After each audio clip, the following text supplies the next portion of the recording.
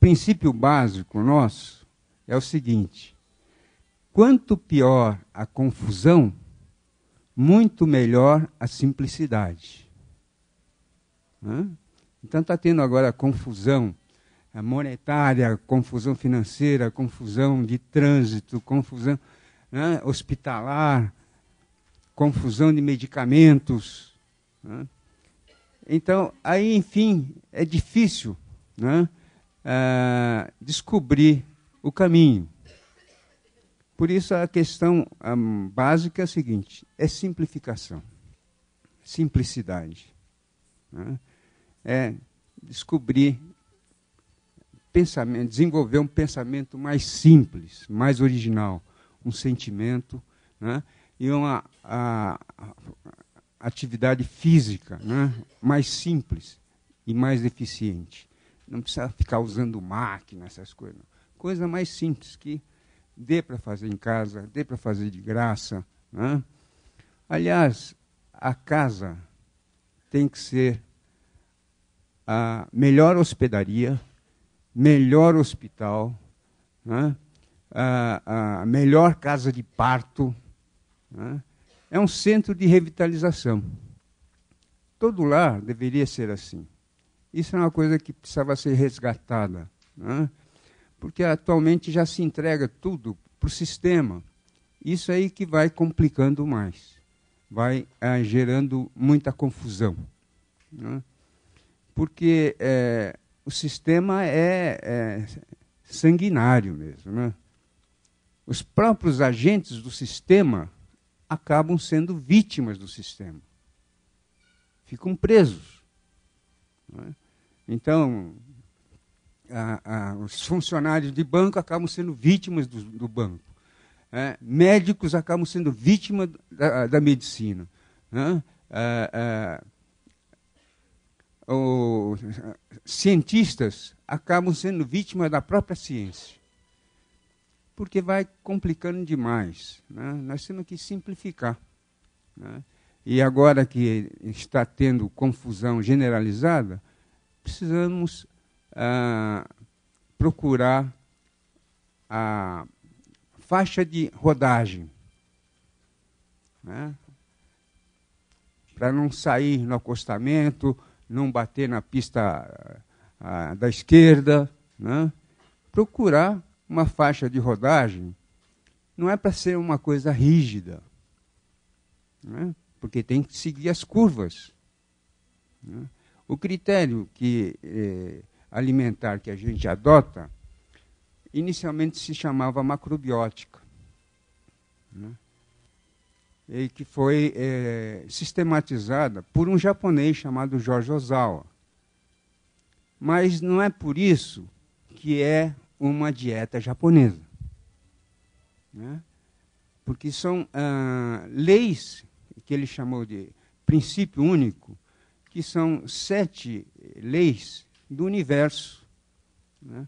Leis que ele é, é, sistematizou que já estava na cultura oriental e universal.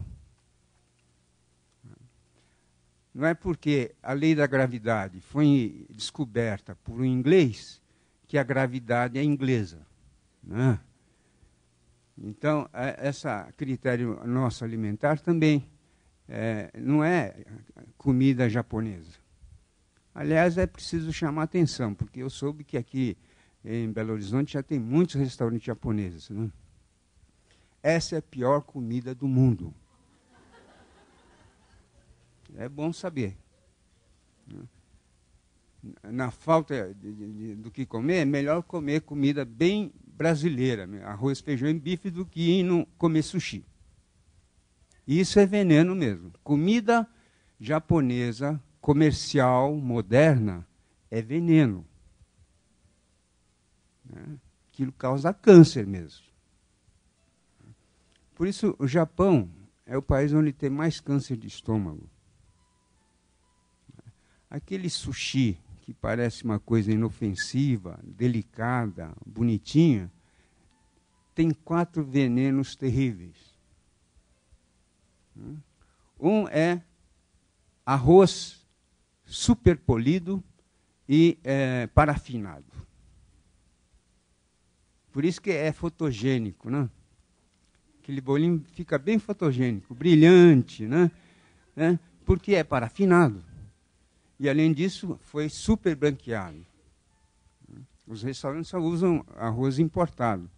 E todos esses arroz importados são parafinados e é, branqueados. Né? Depois, usam ácido acético é, químico no lugar de vinagre.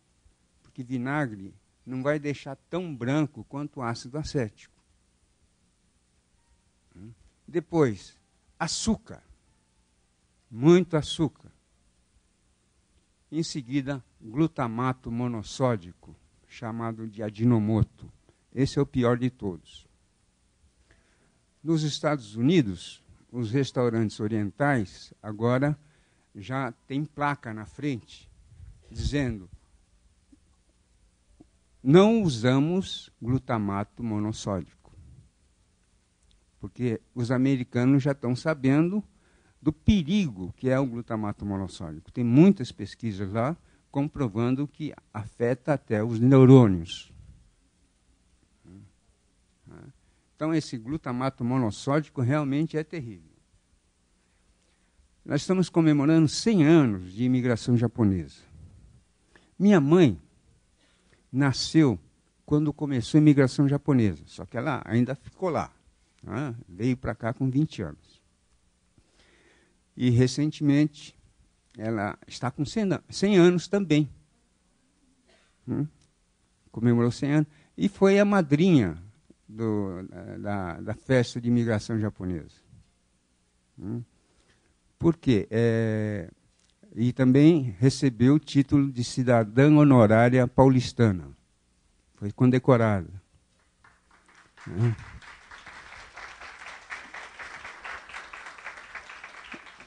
Mas isso também não é só graças a, a, ao DNA, não.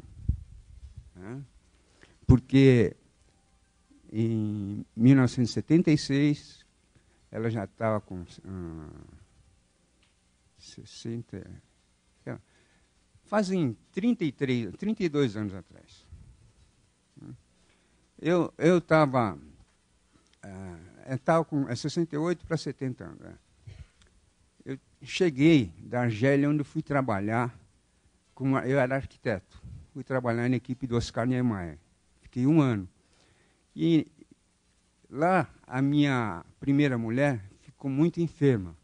E hoje eu tenho satisfação de dizer que reencontrei o doutor Apolo Heringer, que eu conheci lá. Né? Ele nos ajudou muito. Né? É, e ele, então, foi testemunha. Essa primeira mulher estava definhando. Fomos até Paris, o Oscar Niemeyer conhecia o diretor uh, do Instituto Pasteur, doutor Hildebrando. Né? Doutor Hildebrando abriu lá o instituto para pesquisar tudo. Não conseguiram de detectar nada. Foram para os diversos hospitais, também não resolveram o problema eu resolvi trazer de volta. Então, eu rompi com um contrato lá, com Oscar Niemeyer, e vim embora. Chegando aqui, encontrei minha mãe, doente, muito doente. Fazia já uns 20 anos que ela estava sustentando indústria farmacêutica e médicos. E não resolvia.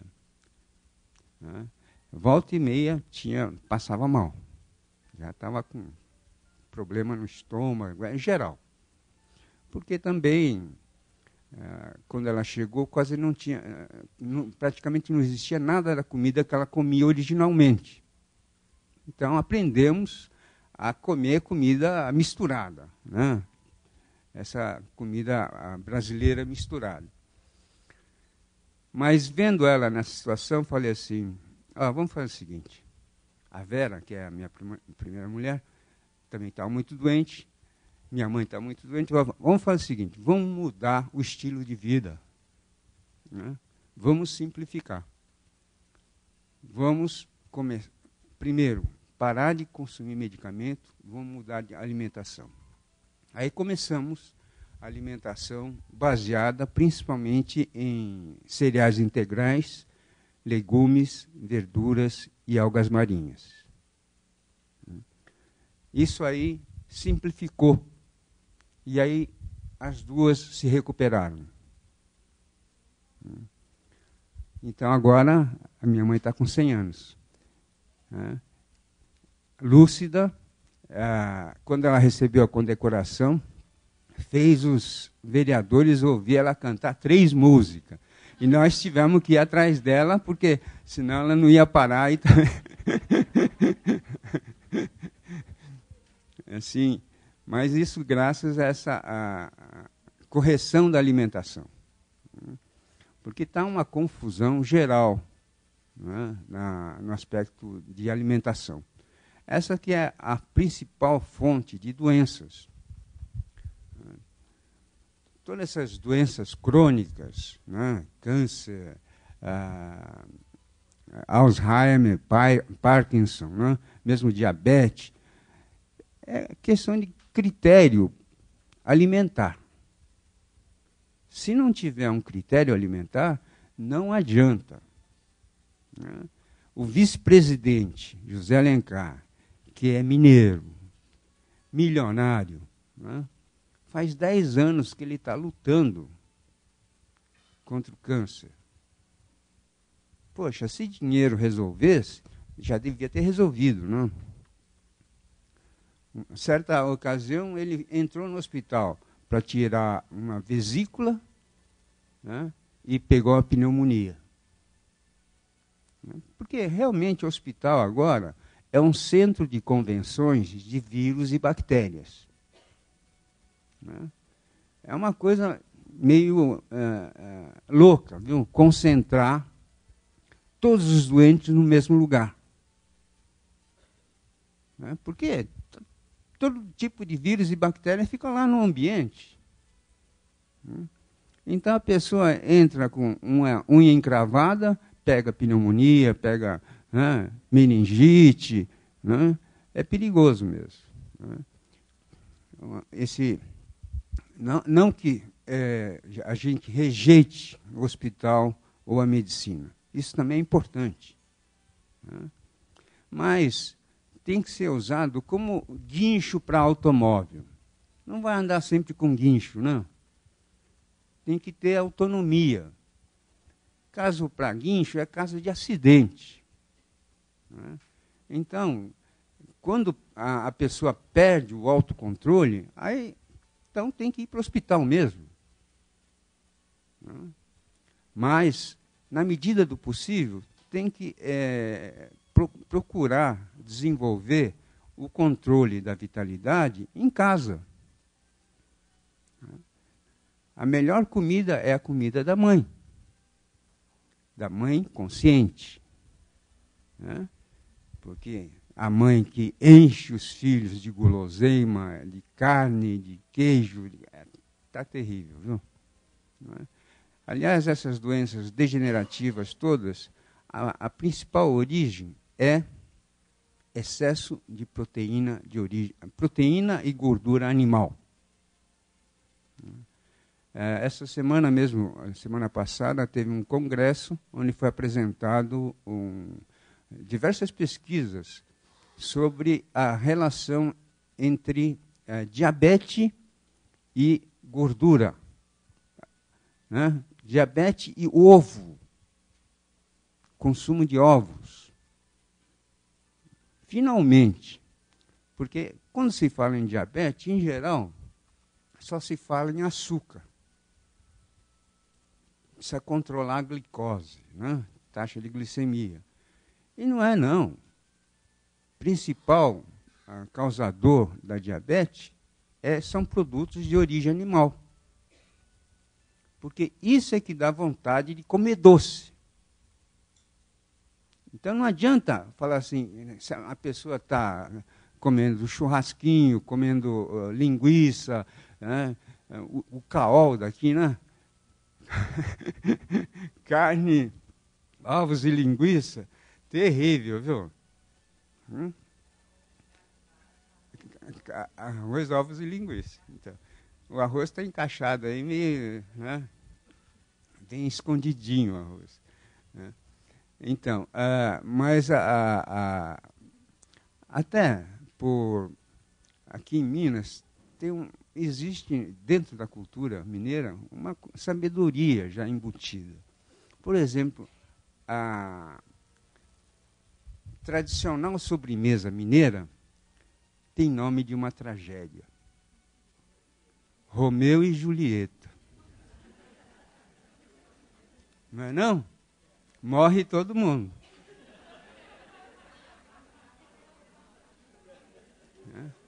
Então foi muito bem descoberto né, esse nome, porque realmente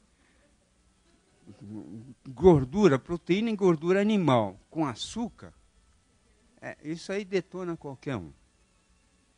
Né? Realmente o, o, princípio básico é ah, consumir o mínimo possível de produto de origem animal. Isso não é uma coisa religiosa, viu? Mas é uma, uma coisa assim, é, confirmada desde a antiguidade. A questão de consumo de proteína animal tem que ser eventual. Agora é todo dia. Tem gente que não consegue ficar um dia sem comer carne, um dia sem comer ovo. Né? Isso é loucura. A coisa básica é, é alimentação fundamental são cereais integrais. Por exemplo, os incas, que é um povo aqui dos Andes, que foi o povo que dominou todos os outros povos indígenas. Eles já ah, percebiam essa, esse critério alimentar. E uh, também tinham noção de efeito de cada elemento, alimento. Eles consumiam principalmente quinoa, né, que é um cereal, quer dizer, não é cientificamente não é considerado um cereal, mas é, é, é quase que um cereal. É um grão. Era principal alimento, o alimento deles era a quinoa, que é difícil de ser produzido acima de 2.800 metros de altitude, em plataformas, né, lá nos Andes. Quer dizer, uma coisa, tanto para quem produz quanto para quem consome, consome, quinoa fortalece. Né? Interessante. Então, os incas dominantes consumiam quinoa, quinoa, amaranto, né? e para os povos dominados, eles davam coisa que é mais fácil de produzir: milho e mandioca. Mandioca é fácil de plantar, não? Mas é também muito perigoso. Mandioca enfraquece muito. Mandioca. Por isso, pode ver, todo mundo diz assim que vida natural é, é que é vida saudável. É? Então, mas por que, que as indígenas, as índias, com 13, 14 anos, já estão com seios todo caídos? Aí as pessoas falam, ah, por que não usa sutiã? O que, que é isso, né? Isso é consequência de mandioca. Porque tem. Ah, é, tem muita a, a coisa a, tóxica. Né? É, por exemplo, arsênio,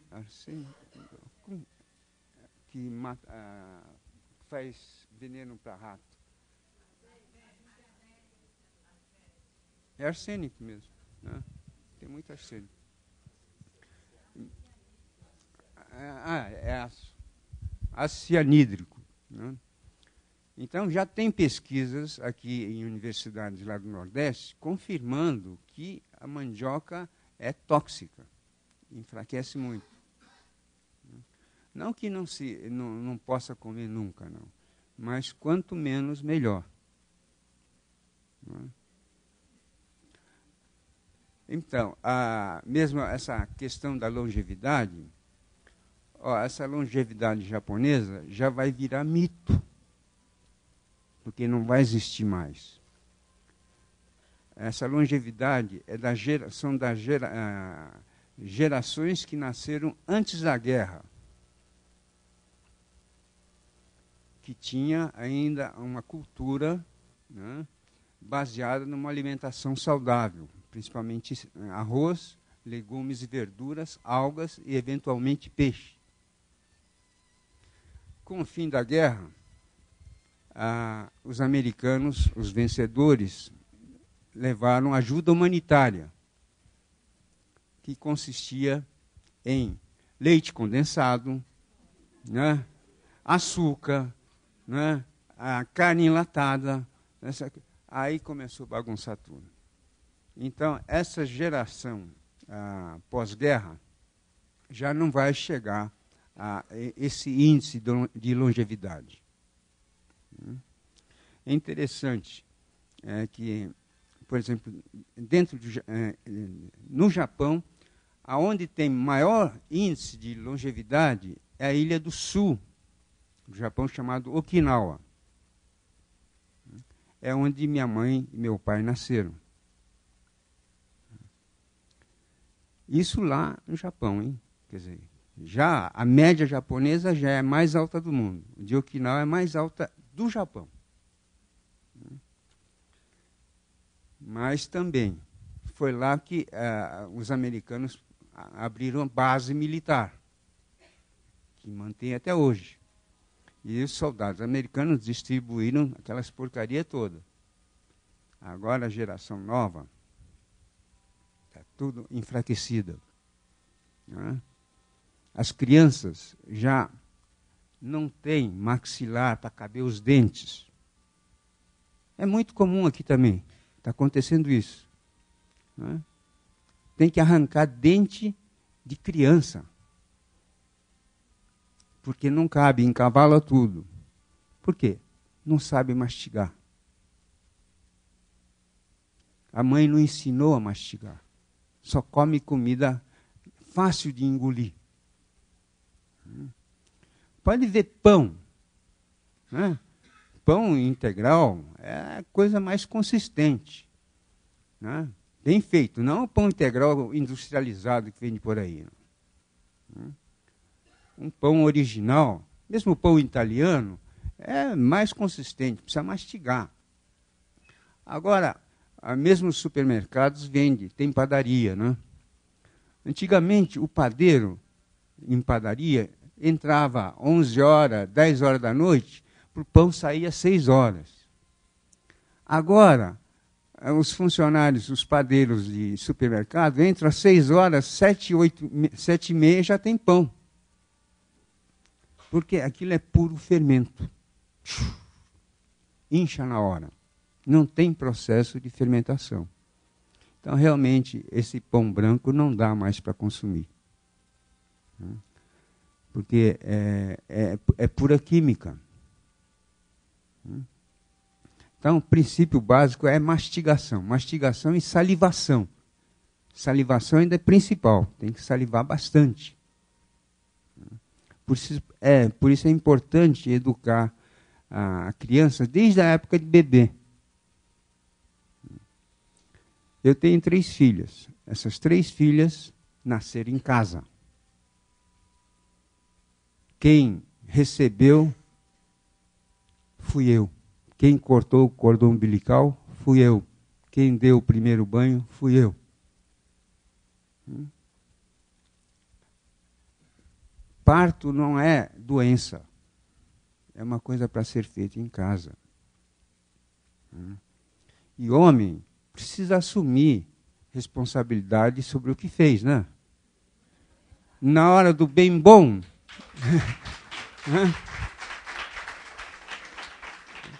Na hora do bem bom não chama ninguém para ajudar, né? Na hora da consequência leva para a maternidade e entrega lá para fazer cesariana. Que coisa absurda, né? Então, mesmo o, o bebê, né? é, primeiro, não deve dar de mamar logo no início. Isso é um princípio básico. Né? Que nós vamos fazer isso a vida inteira. Primeira coisa, tem que eliminar o mecônio, que é o cocô do bebê. Se começar a mamar antes de evacuar, com certeza vai ter complicação intestinal. Mas todo mundo faz coitadinho, coitadinho, já põe no peito da mãe, né? Tudo errado. Pelo menos tem que ficar 24 horas em jejum. Porque vai dormir também, né? Está cansado, enfrentou a luta né?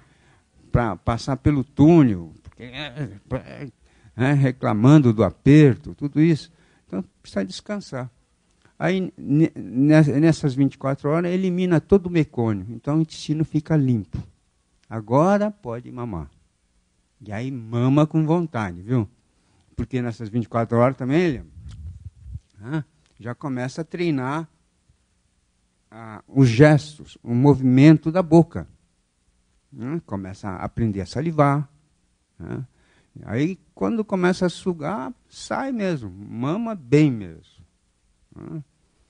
Então, é isso também vale todo dia é renascimento. Cada dia é um dia é um renascimento. Então, primeira coisa, eliminar as fezes antes de comer. Porque assim vai é, assimilar melhor e vai ter bom humor. O povo também já registrou essa relação. Né? Pessoa que não sabe fazer cocô é chamada de enfesada.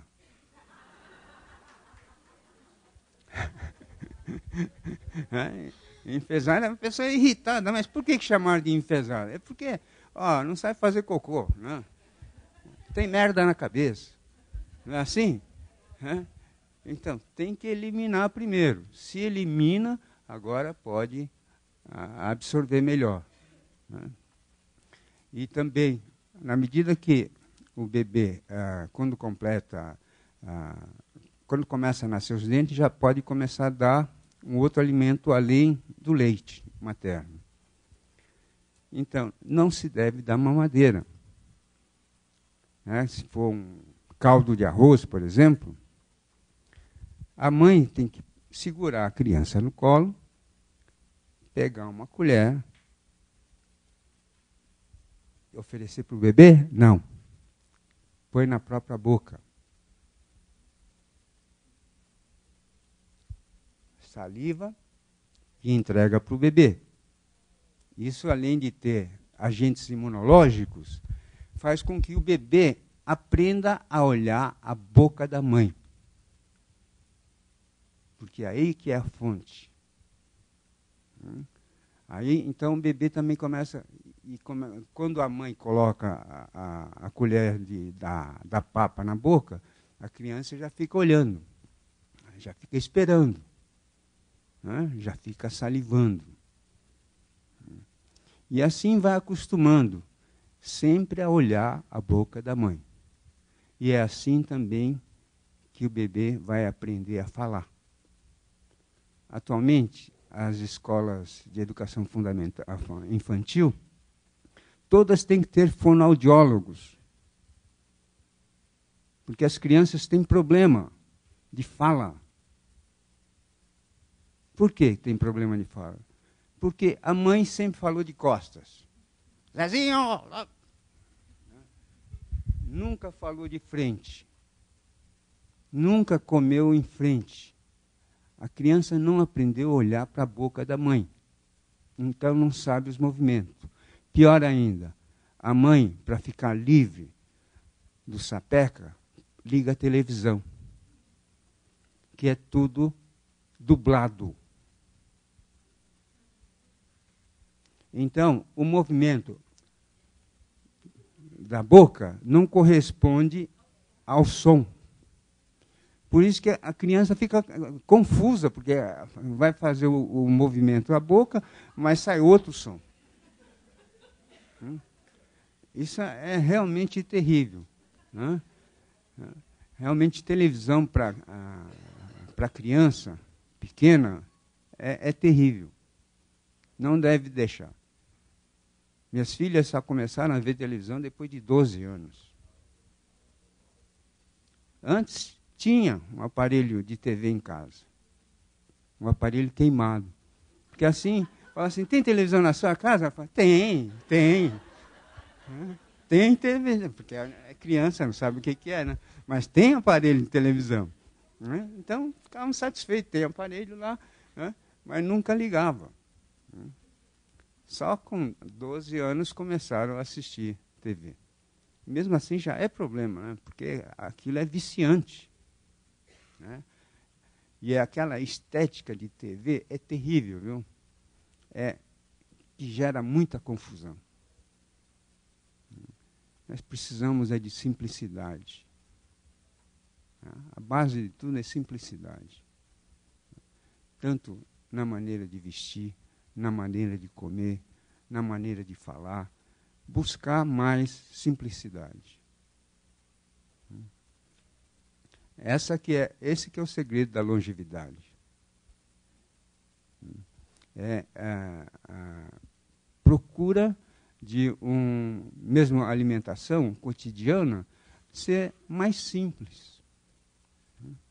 Uma alimentação baseada principalmente em cereais integrais. Melhor de tudo é arroz integral. É? Inigualável ou quinoa, ou amaranto, ou trigo sarraceno. Sarraceno. Agora, farinha de, o trigo comum que faz a farinha é um problema, viu? Também. Interessante é que agora todos os alimentos industrializados que se vendem nos supermercados, né, mercearias, vem escrito: não contém glúten. Né? Por que isso? Porque existe uma epidemia nacional de a, a, alérgico a glúten. Isso é consequência de consumo de várias gerações de farinha de trigo branca. Ninguém fala isso. Só diz, ó, não contém glúten. Mas a, a origem dessa epidemia é, é alérgica, né? É, é, consumo de farinha de trigo branca. Tudo aquilo que é muito uh, moído, muito refinado, né? Tudo que é refinado, muito refinado, é problema mesmo. E, tri, e, e trigo, farinha de trigo branca, isso acaba gerando disfunção uh, renal, uh, disfunção na bexiga. Então, dá para usar, mas também moderadamente. Né? Então, uh, agora, alimento principal é cereal mesmo, né? arroz, legumes e verdura, né? e alguma leguminosa. Então, tradicionalmente, aqui no Brasil, a alimentação básica era arroz e feijão. Né? Arroz e feijão que era a coisa básica, cotidiano. Agora não, é tudo inverti invertido. Né? Tem carne todo dia. A, a principal injeção diária tem que ser de carboidratos e não de proteína. Antigamente, mesmo na alimentação comum, um sanduíche era simples. Tinha uma salsicha ou um, um, uma fatia de queijo, uma coisa assim. Agora, quando se vê os hot dogs, os sanduíches, os hambúrguer que tem, o pão, que é o carboidrato, virou só guardanapo. Não é não? É só para não sujar a mão. Né? Lá na, na, em São Paulo, tem o Mercadão, lá, municipal, que tem um sanduíche de mortadela com 250 gramas, não, 350 gramas de mortadela. Você imagina, não dá, nem cabe na boca. Né? 350 gramas de mortadela. Então, essa inversão é que está confundindo tudo. O principal alimento do ser humano é cereal. Isso, nos principais povos da antiguidade, foi assim. Os que sobreviveram, os povos que construíram grandes civilizações, eh, consumiam principalmente cereais. A carne era uma coisa mais para festa, eventual. Aqui, mesmo aqui uh, no campo, aqui em Minas, não se mata um frango todo dia. Agora no supermercado tem frango todo dia, então a pessoa vai lá e compra o frango. Então todo dia tem frango, todo dia tem carne. Isso aí não é natural. Mesmo que seja vem escrito assim, carne orgânica, galinha caipira, vem, vem tudo supermercado, tudo mentira. Hum? Tudo mentira. Porque, é, é, mesmo que fosse, isso não é, é assim natural. Isso é, existe graças à tecnologia. Né? Tecnologia de manipulação de, de, de, de genética de animais né? para reproduzir mais rápido né? Ah, ó, antigamente, um frango para bater precisava de seis meses. A Sadia fabrica um frango em 30 dias. Fabrica mesmo, em 30 dias. Aí já dá para ver o que, que é esse absurdo. Né? E agora o Brasil está tá exportando esse veneno para o mundo inteiro. Né? Um dos maiores exportadores de frango é o Brasil. Né? porque aqui se desenvolveu muita tecnologia para isso. É? Mas isso aí é, só existe graças à tecnologia. Transporte, né? transporte rápido, frigoríficos. Né? Senão, não daria para consumir carne todo dia, frango todo dia.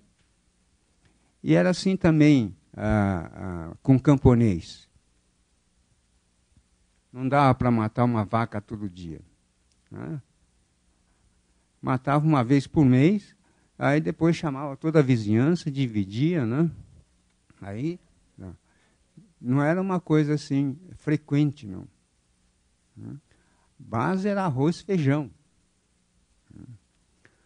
Agora, o problema é o feijão também é, se consumir muito, também tem problema, porque causa ácido úrico, produz ácido úrico.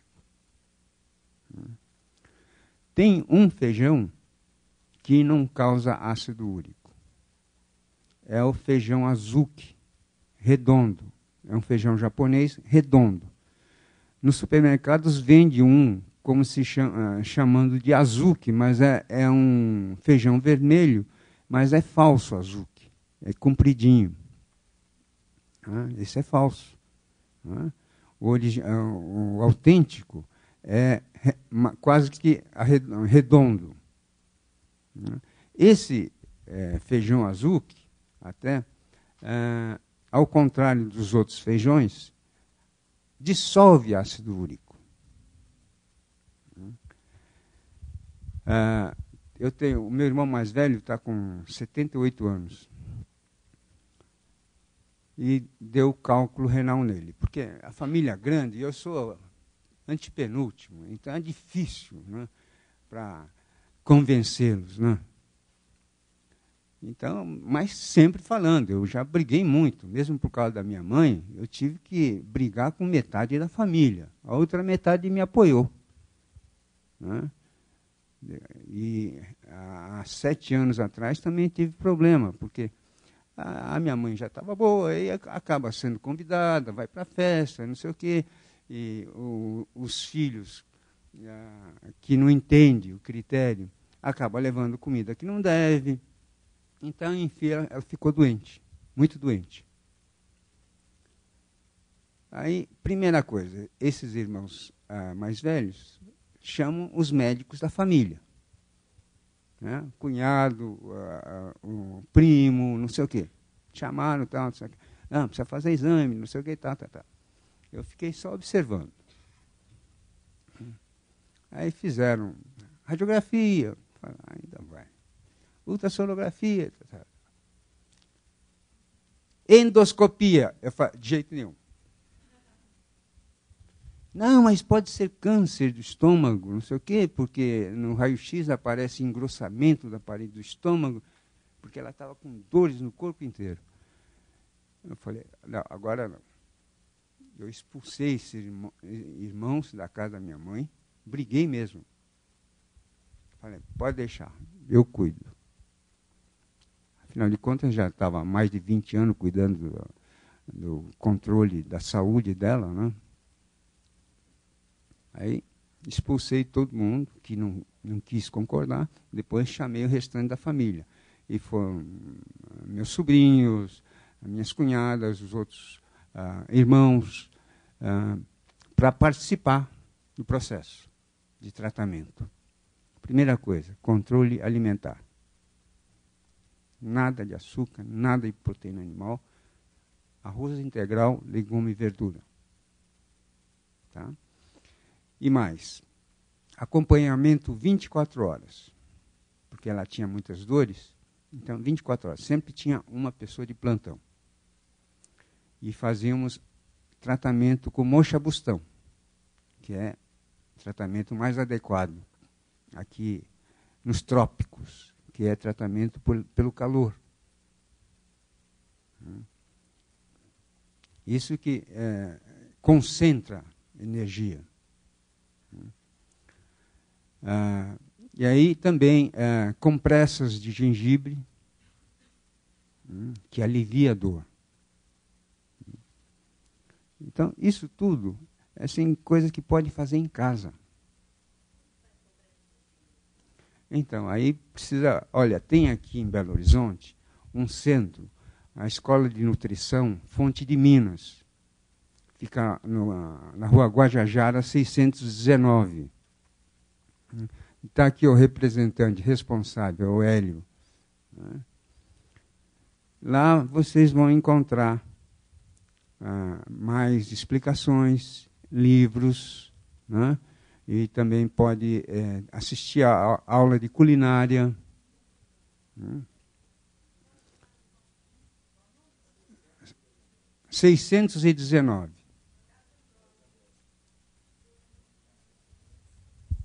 Casa 9.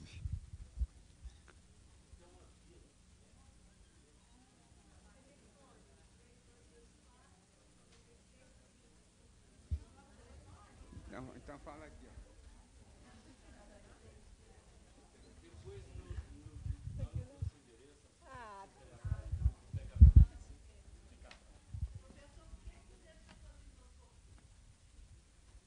Porque esses exames invasivos provocam a doença que se procura.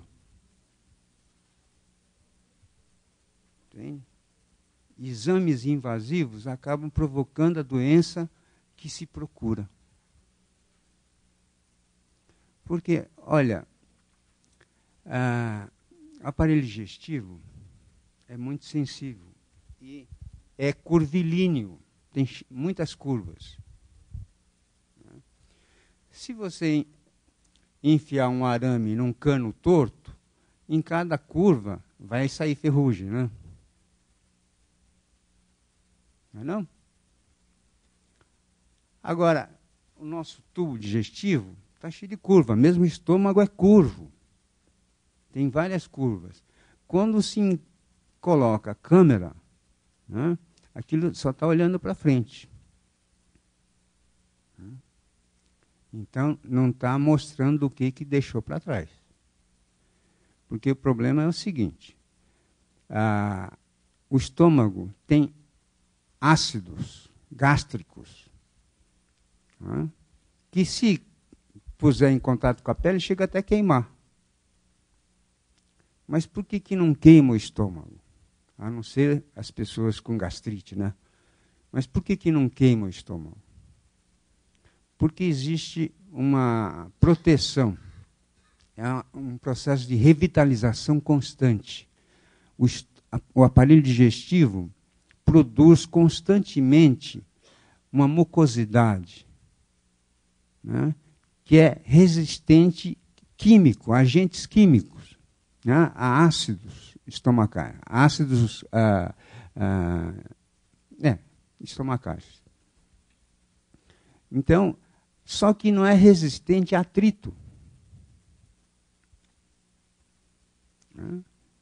Então, qualquer coisa invasiva acaba ferindo. Já se sabe que 60% a 70% da população mundial tem uh, no estômago uma bactéria chamada Heliobacter pylori? Que muitos dizem que é um dos principais causadores de câncer do estômago mas a gente convive com essa bactéria. Né? Enquanto tiver mucosidade. Mas se acontece um ferimento na mucosidade, aí essa bactéria entra na corrente sanguínea. Chega na parede do estômago. Esse que é perigoso. Por isso tem que evitar endoscopia. Aliás, todos os exames invasivos. É claro que tem casos que precisa ser feito. Não é simplesmente rejeitar, mas tem que evitar. Né? É, hospital tem que ser um lugar de acidentado. Né? Agora, tem que tirar a carteira de habilitação para dirigir a vitalidade em casa. Entende? Isso é que precisa fazer. Tem que tirar a carteira de habilitação, não vai ficar dando trombada toda hora e toda hora dependente de guincho, de hospitais, não? Não, tem que procurar tratar de maneira mais simples em casa. E é possível. Tudo é possível.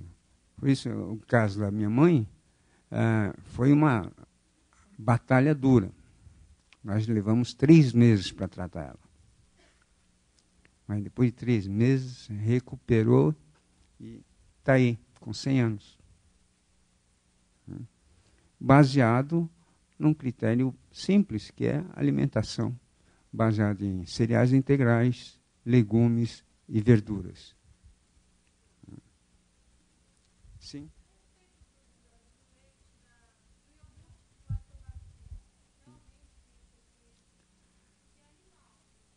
Então, é melhor evitar.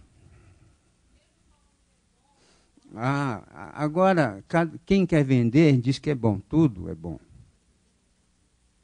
Entende? Até produtos orgânicos. Né? Os comerciantes, para vender, tudo fala que é muito bom, então a pessoa também vai pela onda acha que pode comer à vontade. E é bobagem. As pesquisas pegam e falam assim: olha, a, a brócolis é, é, é, um excelente eh, alimento para evitar a, problema cardiovascular, câncer, tudo. Agora, precisa comer todo dia? Né? Isso é loucura.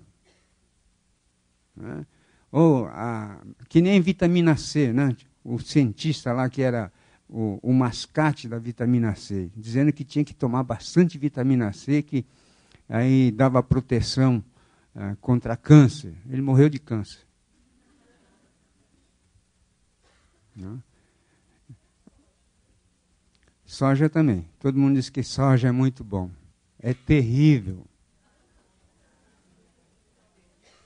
Se não souber controlar, se não souber preparar, esses uh, leite de soja que se vende por aí, é tudo uma porcaria mesmo, viu?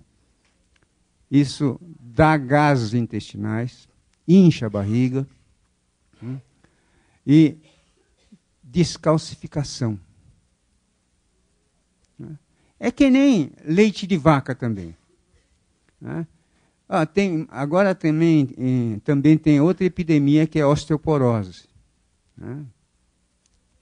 Está né? cheio de gente com osteoporose.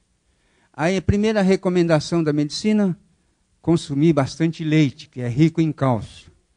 Olha, eu não conheço ninguém que tenha osteoporose que já não consumia leite, queijo, carne todos os dias. Vai comer mais ainda? Né?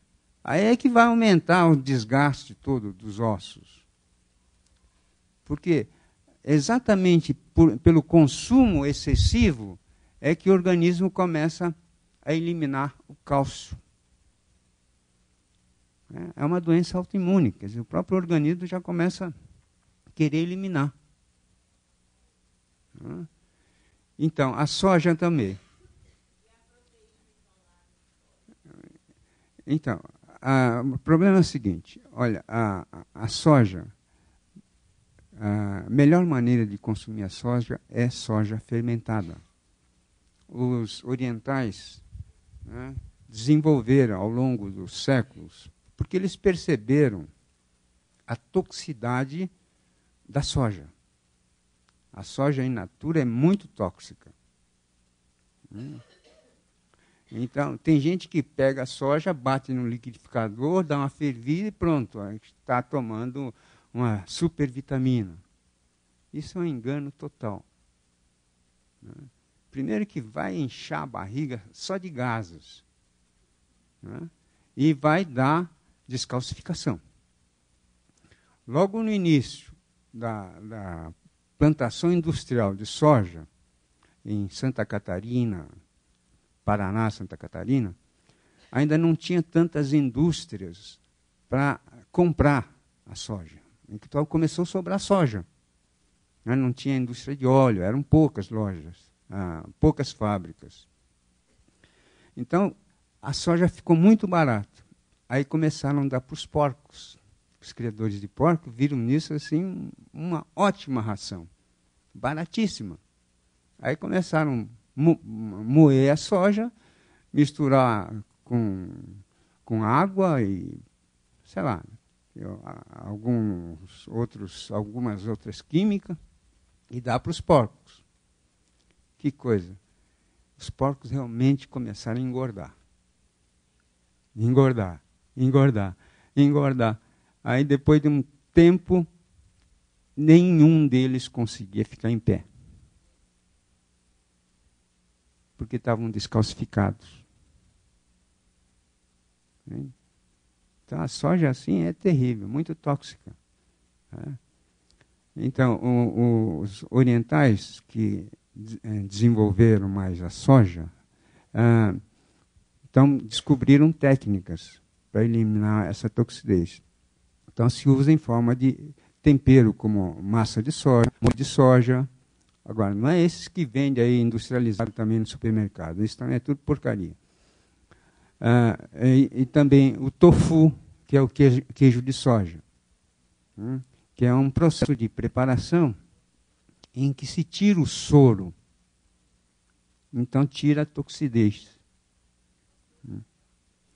É, mas ó, não deve dizer que é tal, a coisa é boa, então pode comer à vontade. Não tudo tem que ter critério. Não deve consumir muito, não. Hum?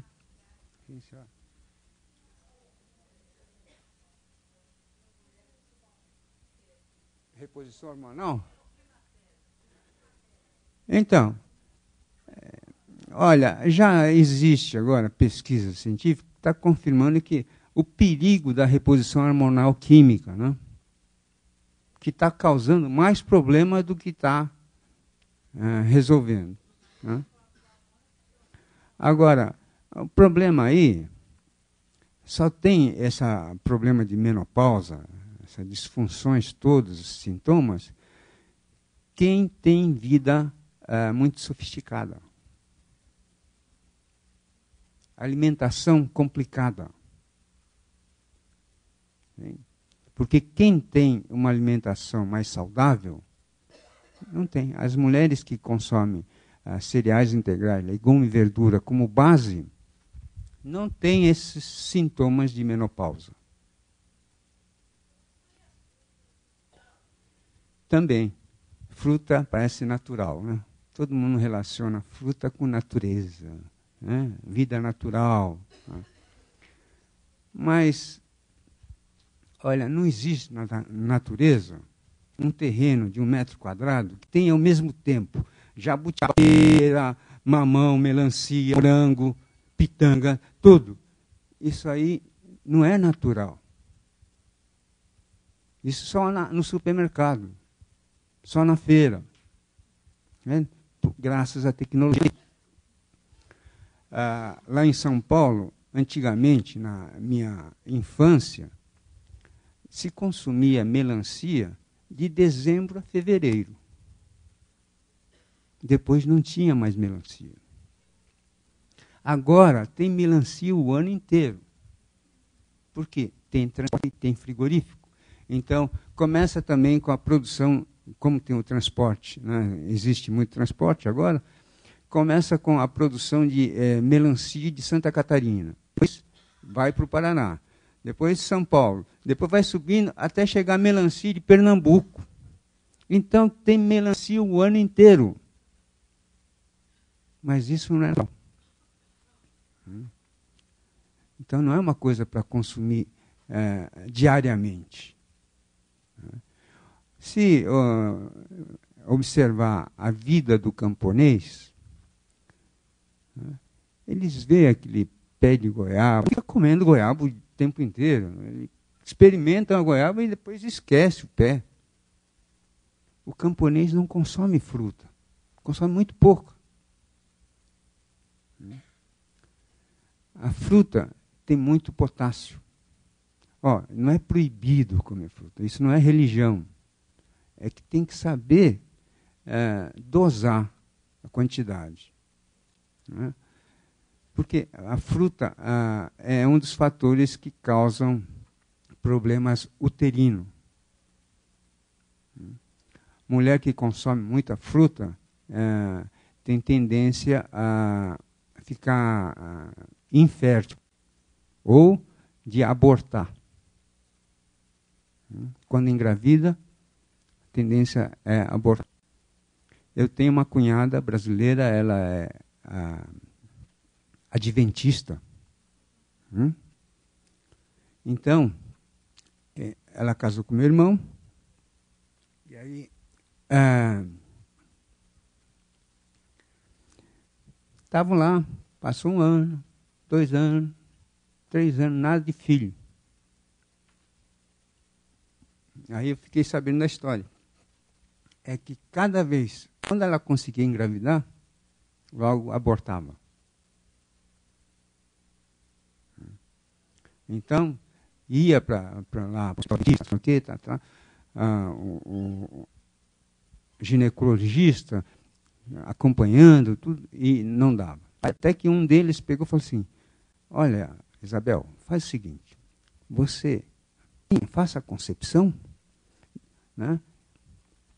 quando faz o teste, se tiver grávida, vem devagarinho, nós vamos te levar com cuidado lá para o hospital de Curitiba para costurar. Né? Costurar placenta, costurar para grudar lá. Coisa absurda. Eu falei que. É o colo do útero também. Eu falei, isso é loucura. Eu falei, você quer ter filho mesmo, Isabel? Para de comer fruta por uns tempos. Coma mais cereais integrais, legume e verdura. Ela tem isso, adultos agora. A flexibilidade depende da alimentação cotidiana. Coisas que contêm muita gordura e proteína animal, a tendência é entupir, enrijecer. Por isso que entope os, os vasos do coração. Né? É, por isso que causa hemorroida também, por quê? Por falta de circulação sanguínea. E excesso de fruta causa dilatação. excesso de potássio causa dilatação.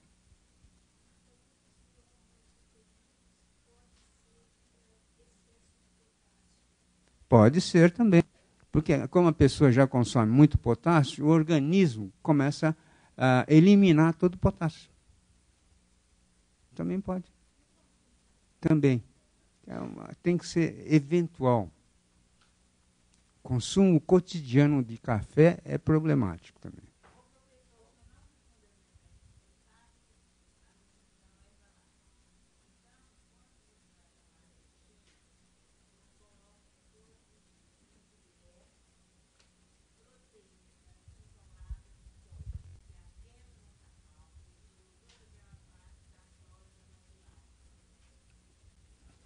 Então, essa coisa de, eh, também de concentração industrial né, de alimentos é problema. Hum? Tudo aquilo que fica sendo super manipulado é, já, já perde. Melhor é a maneira mais uh, natural, mais orgânica. Né? Então, uh, não tão desintegrada. Né? Não tão refinada.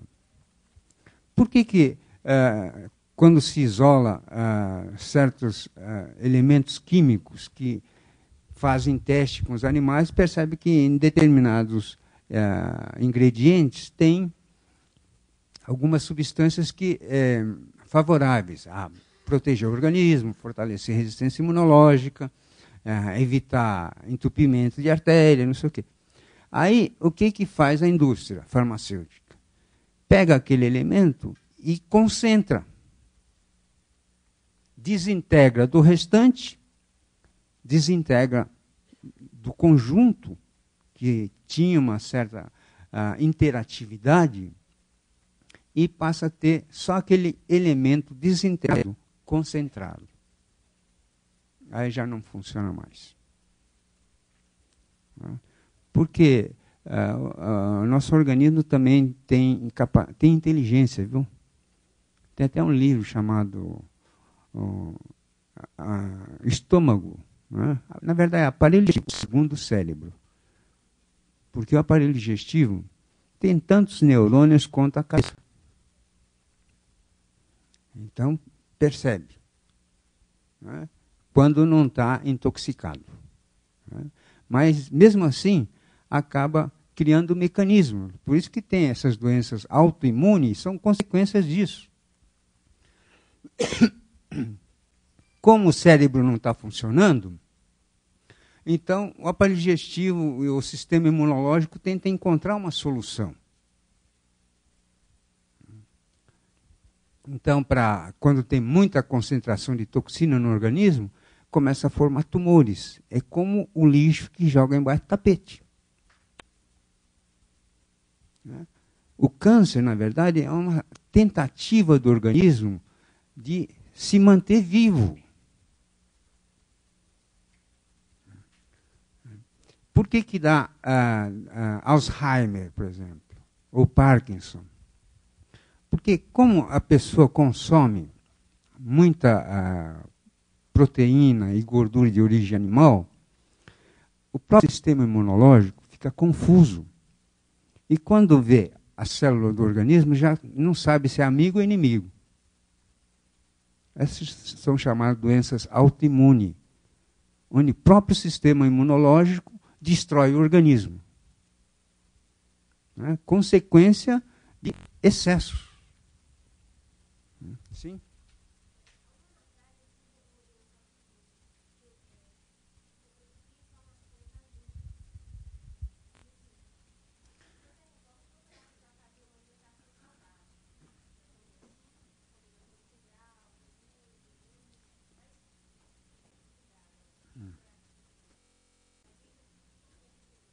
Então, mas não vão hum, ficar em, em, em problemas individuais, né?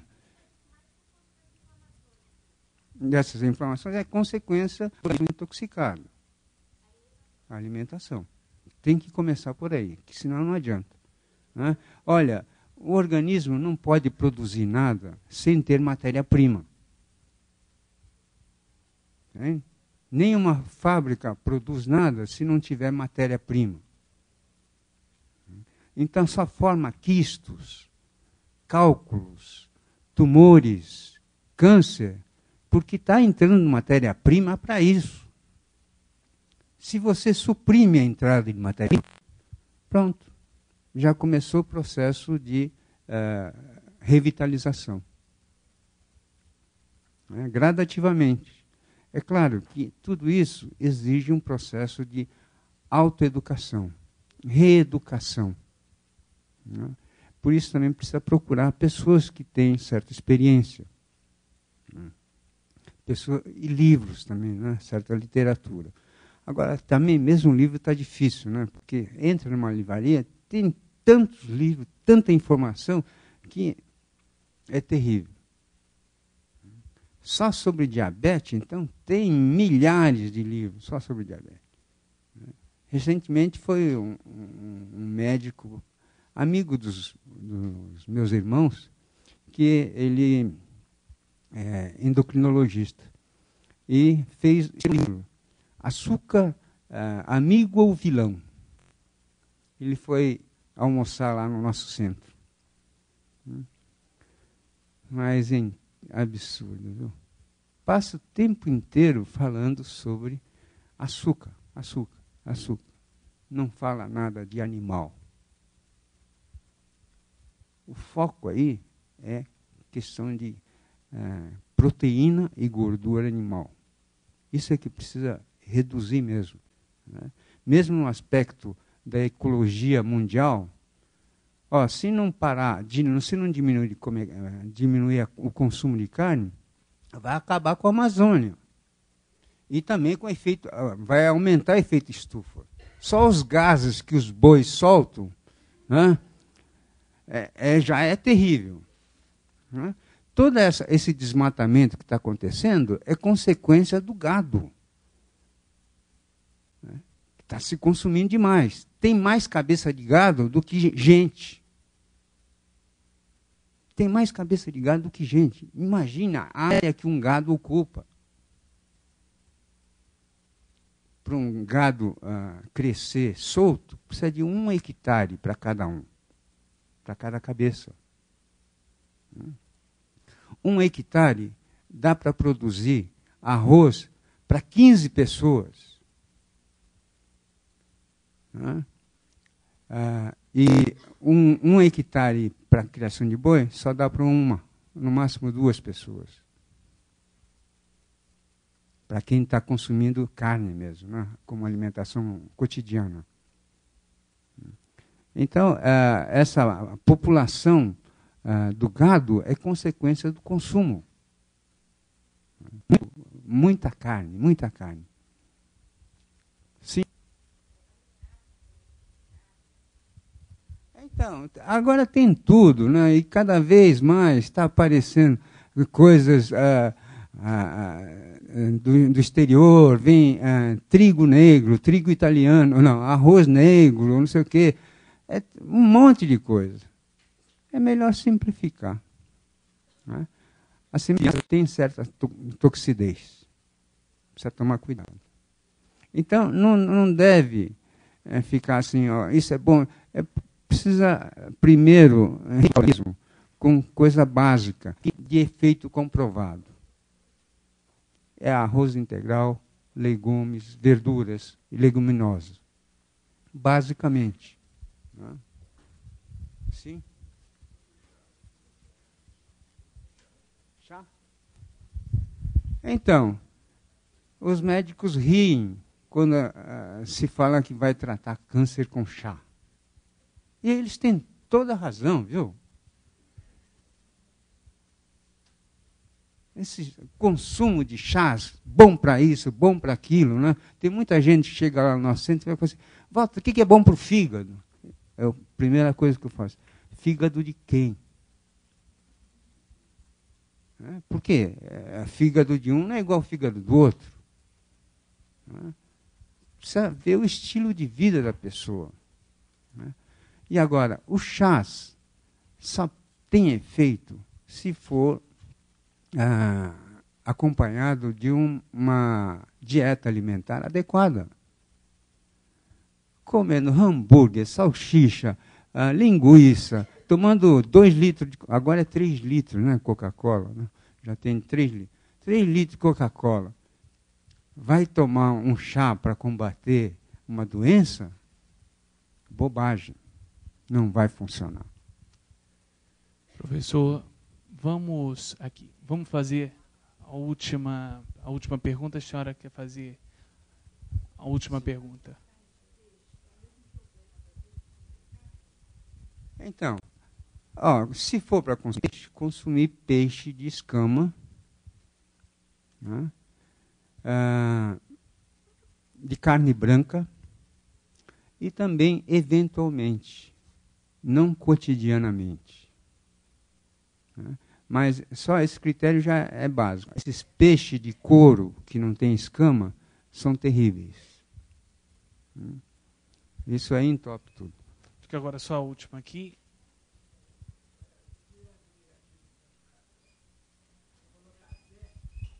Então, é, é super estimulante. Muita cafeína. Né? É, porque depois vem a depressão. Tudo que é estimulante é depressivo. Né? Por isso que quem toma café, toma um café depois do outro. Entende? Quando passa o efeito, aí fala assim, está na hora de reabastecer. Né? tá bom. Nossos okay. aplausos para o professor Obrigado. Walter Kanashiro.